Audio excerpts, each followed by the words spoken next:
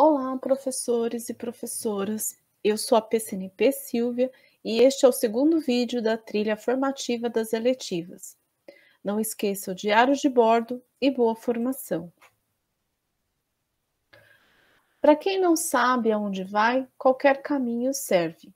Alice no País das Maravilhas, Lewis Carroll. Iniciaremos nossa formação com o vídeo do Mário Sérgio Cortella. Alice no País das Maravilhas e Matrix. Acompanhe. Dentro do contexto do vídeo, como você responderia essa questão? Como a sua eletiva contribui para o projeto de vida dos estudantes? Registre sua resposta para que ao final do vídeo você possa revisitá-la. É muito importante, quando construímos uma eletiva, estarmos atentos ao projeto de vida dos alunos.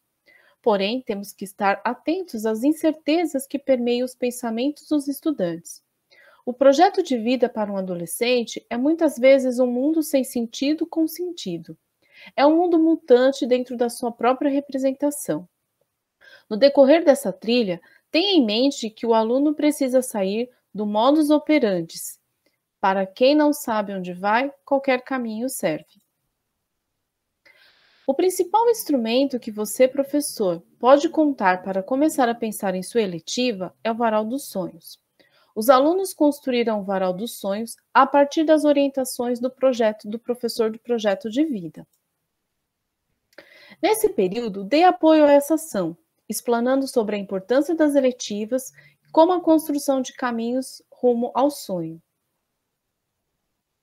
Depois de aplicado o varal dos sonhos, é o momento de tabular as informações.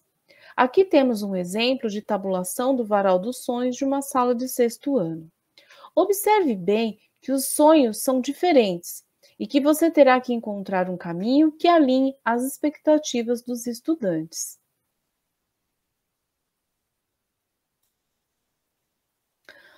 Você poderá iniciar sua jornada utilizando a metodologia da Árvore dos Sonhos para levantamento de expectativas e desafios a enfrentar no desenvolvimento de um projeto.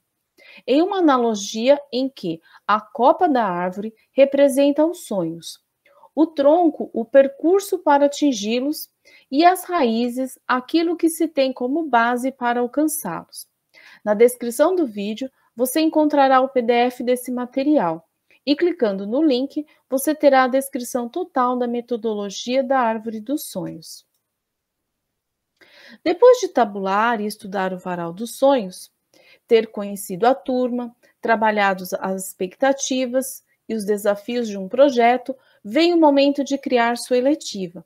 Para isso, você pode contar com o cardápio das eletivas ou criar sua própria letiva, que esteja mais próxima da realidade dos seus estudantes. Chegamos ao final desse vídeo e espero que ele tenha ajudado a responder à questão inicial. Como a sua eletiva contribui para o projeto de vida dos estudantes? Escolhido o caminho que você traçou para ajudar seus alunos a realizar seus sonhos, vem o momento de construir sua eletiva. No próximo vídeo, a PCNP Lilia irá ajudá-lo a construir a sua ementa. Bom estudo e boa eletiva a todos!